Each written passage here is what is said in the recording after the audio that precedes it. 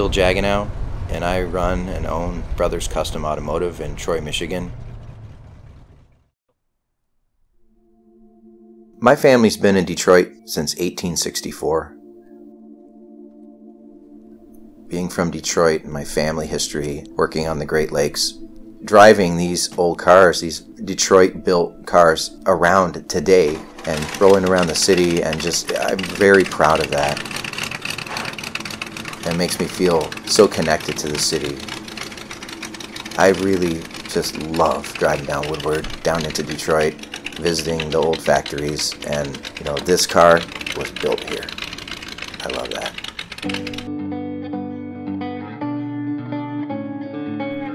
Here at the shop, we don't really discriminate on make or model so much. We like to help people with problems that they have, and sometimes the problem is they don't have the car that they want, so we build them the car that they want. But we do oil changes and brakes and upgrades to things that people really care about and want to make better.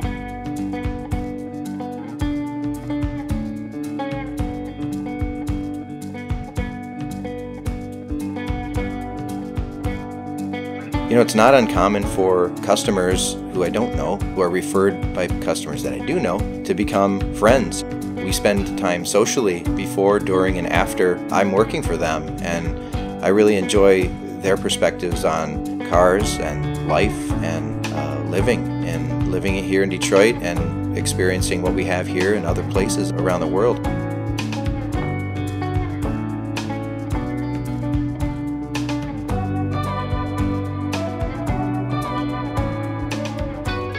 Picked up my 27 T in 99 or 2000 and I really wanted a, a Dry Lakes 1940 style roadster.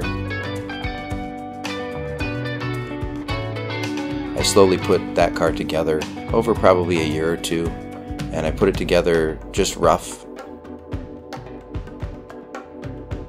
I didn't really know if I was going to finish it nice or not. I put it together and enjoyed it for about 10 or 12 years and then decided one year that the shop needed a car to show at the Autorama, so I redid it and basically left it identical, just made it shiny. It happened to be black and had original paint on it still some places, and I was the second person to paint it. That was kind of neat.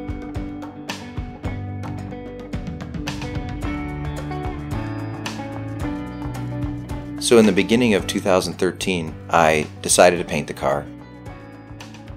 Autorama is in March, so we did the paint work, we squared away the body and put a very simple interior in it. Polished the bits that were already there and rolled it into Autorama in March.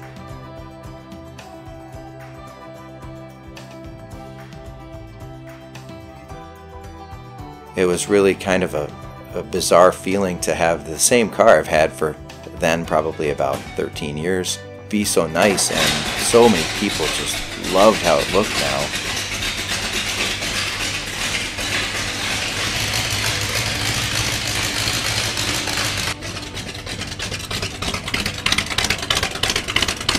It won a top 100 pick from Street Rodder magazine. It won the best of show, it won best engine. It just killed it, and I was so surprised. It was just a wonderful experience.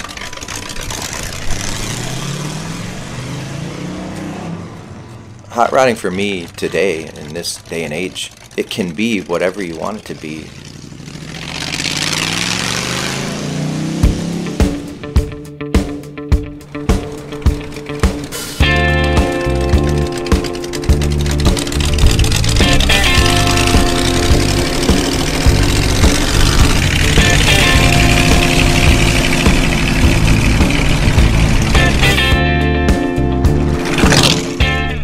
have the most modern drivetrain uh, and conveniences and comforts of a modern car and just have the package of an old car. But I prefer what the car used to look like in a 1940s magazine. And I grew up looking at these magazines and I wanted to know what it was like to be in the picture, like drive that car. And you can really do that with the bits and pieces that you can acquire. You can put together a car just like a car in a magazine from 60 years ago and enjoy that experience like the first people that did.